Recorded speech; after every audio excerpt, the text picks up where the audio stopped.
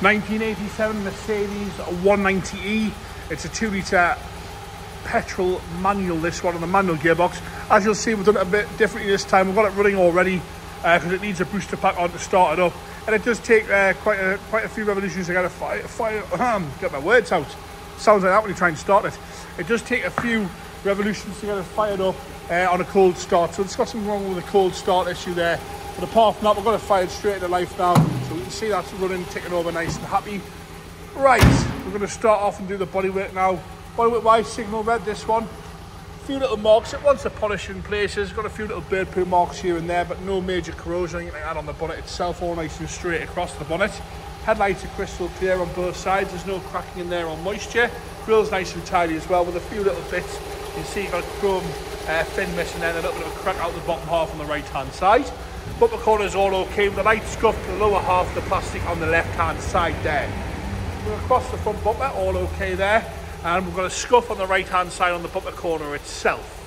Bodyweight wise, it looks to be fairly straight this one. As you come around the arch, there's no corrosion coming through, which you would see uh, a mile off on these 190s, all nice and tidy around the arch itself. Across the lower half of the sill section, all nice and red, you'll see there's a rub strip missing off the lower half of the door there. But all nice and tidy, a good polish will just transform this one. Nice and tidy across roof there, with a few bits of lacquer peel towards the front edge of the sunroof there, but no corrosion around the sunroof itself, but we have got some lacquer peel across the front edge of the roof and across the sunroof itself there. Wing cap is uncracked on both sides. Driver's door's all nice and tidy as we work onto the driver's rear door You'll see we've got a few little faded bits to paint, but apart from that, it's all nice and red there, a little bit of pink in places.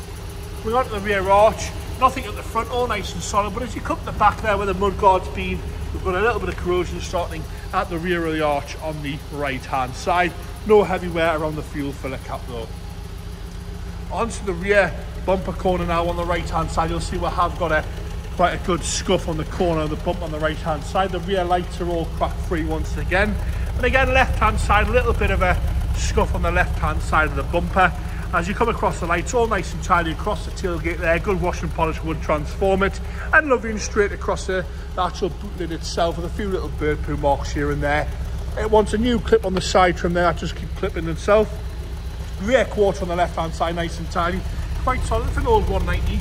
Around the arch, loving tidy around the arch, no corrosion there, no rust, no signs of any paint work and loving straight down the whole left hand side all the way down the bodywork's nice and tidy across the lower half the sill section all still nice and factory red and nice and tidy across the lower halves of the doors on the left hand side left hand side rear passenger door around the handle around the back edge all nice and tidy.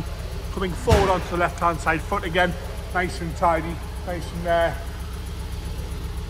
clean across the rear edge there. As you come forward onto the passenger front wing this is where we have got some corrosion to the paint side.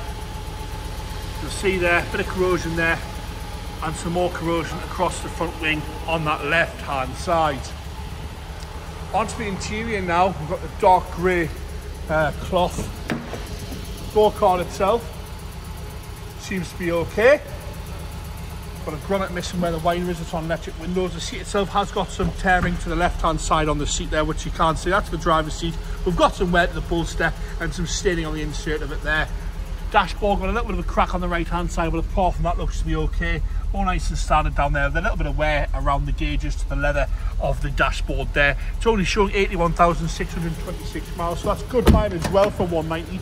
They're normally done well over by 100,000 by now.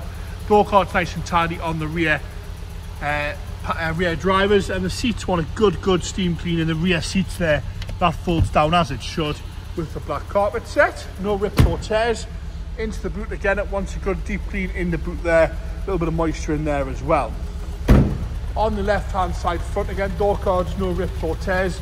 A little bit flaking off the back which is pretty standard on these 190s and the seat itself apart from wanting a good clean no rips or tears again from the left hand side onto the front now. Front passenger front door card there, nice and tight on the door card once, a little bit of a clean, but that's all. And the seat itself, no rips or tears, but has got some staining to the seat, a bit dust built up there, headlining nice and clean from the left hand side.